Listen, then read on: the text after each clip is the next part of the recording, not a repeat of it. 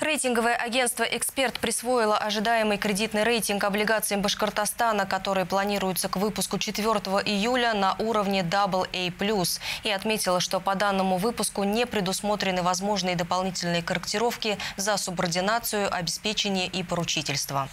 Минфин республики намерен выпустить 55 миллионов облигаций номиналом 1000 рублей. Таким образом, общий объем составит 5,5 миллиардов рублей. Торговлю бумагами начнут в день размещения обращения 4 июля. Владельцами могут стать как юридические, так и физические лица, владельцы брокерских счетов. Для иностранных игроков устанавливаются ограничения в соответствии с законодательством страны. Срок обращения облигаций составит три года. Частичное погашение 40% номинала ценных бумаг запланировано на конец 2025 года. Полное погашение на 30 июня 2026 года.